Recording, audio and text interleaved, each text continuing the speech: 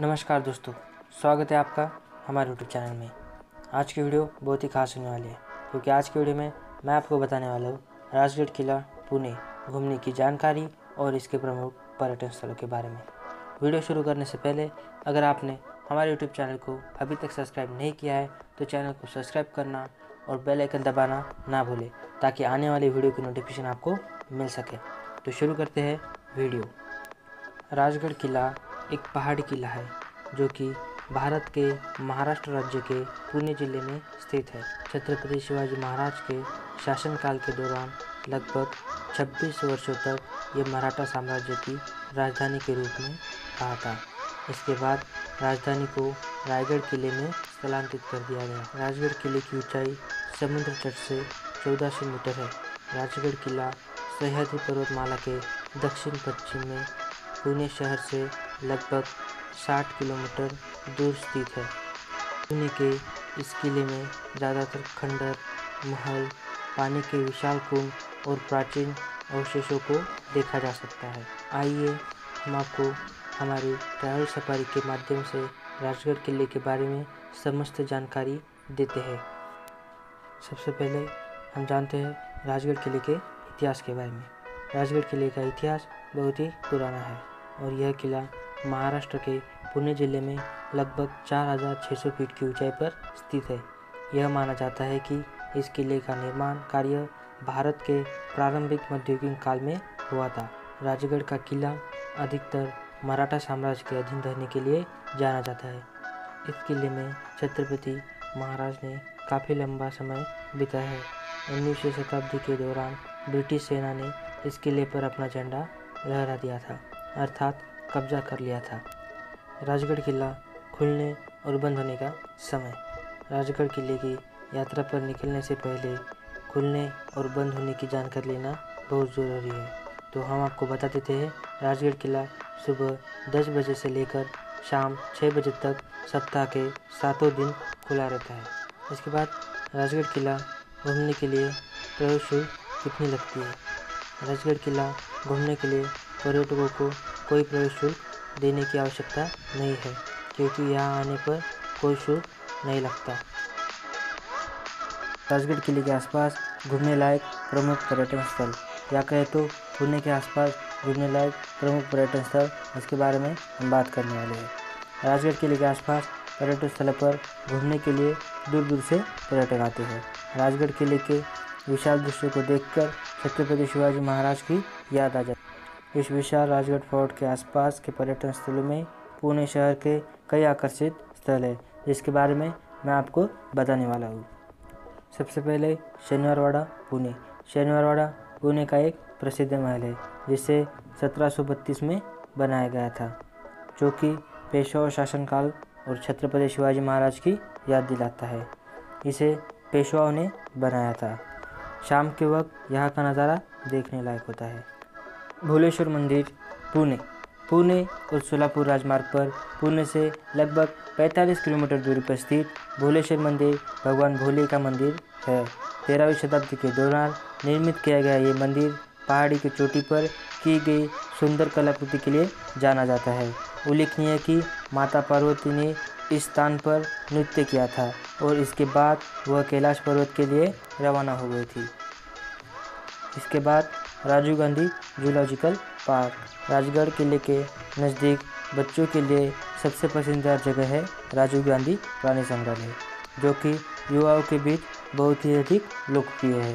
पुणे से राजीव गांधी पार्क की दूरी लगभग आठ किलोमीटर है। पुणे का यह शानदार पर्यटन स्थल लगभग 130 एकड़ के क्षेत्र में फैला हुआ है। इस पार्क में कई प्रकार के जीव जंतु देखने को मिल सकते हैं। इसके बाद सारसबाग गणपति मंदिर, पुणे. पुणे में स्थित सारसबाग गणपति मंदिर शहर के प्राचीन और भव्य मंदिरों में से एक है। अपने समृद्धिक, ऐतिहासिक, अतीत और विशेष द्वीप के लिए ये अपनी अलग पहचान बना चुका है। सन उन्नीस में मंदिर परिसर में एक छोटे संग्रहालय को जोड़ा गया था और इस संग्रहालय में भगवान गणेश की मूर्तियों के सैकड़ों जोड़े थे। सारसबाग में गणपति मंदिर का निर्माण माधवराव पेशवा ने सत्रह सौ में करवाया था। इसके बाद भोर व्यू पॉइंट, पुणे। राजगढ़ किले के पर्यटन स्थलों में भोर व्यू पॉइंट, पर्यटन स्थल भी शामिल है, जो पश्चिमी घाटों पर हरे भरे पहाड़ों का मनोरम दृश्य प्रदान करता है। यह स्थल शूटिंग के लिए भी प्रसिद्ध है। पर्यटकों के बीच पिकनिक और एक दिन की सैर के लिए यह एक दर्शनीय स्थान है। सही मायने में ये एक शानदार एडवेंचर स्पॉट है, जो कि पुणे से लगभग 33 किलोमीटर दूर पर स्थित है। इसके बाद पश्चिमी घाट पुणे। पश्चिमी घाट पर पुणे में और उसके आसपास के प्रमुख हिल स्टेशन मानसून के दौरान शानदार नज़ारे प्रस्तुत करता है। यह हिल स्टेशन एक आदर्श पिकनिक स्पॉट भी है। पश्चिमी घाट के आसपास झीलों, छोटी धारियों अम्बोली पंचंगनी महाबलेश्वर के अलावा और भी कई लोकप्रिय स्थल है। इसके बाद पर्वती हिल पुणे। पर्वती हिल पुणे शहर का एक बहुत प्रसिद्ध स्थल है, जो प्राचीन मंदिरों का घर है। यहाँ के चार प्रसिद्ध मंदिर भगवान शिव, विष्णु, गणेश और कार्तिकेय को समर्पित है, जो कि सत्रहवीं शताब्दी में बनाए गए हैं। समुद्र तल से 2100 फीट की ऊंचाई पर स्थित पर्वती हिल चोटी से कई शानदार दृश्य देखने को मिल सकते इसके बाद राजगढ़ किले की यात्रा करने के लिए सबसे अच्छा समय कौन सा है? अगर आप पुणे के राजगढ़ किले की यात्रा करना चाहते हैं तो आप मानसून और सर्दियों के मौसम में जा सकते हैं। जुलाई से लेकर फरवरी तक पुणे का मौसम सबसे खास होता है तो इस समय आप वहाँ जा सकते हैं। राजगढ़ किले के आसपास खाने लायक स्थानीय भोजन। राजगढ़ किला एक बहुत ही आकर्षक स्थल है और यहाँ कई तरह के स्थानीय भोजन आपको चखने के लिए मिल जाएँगे।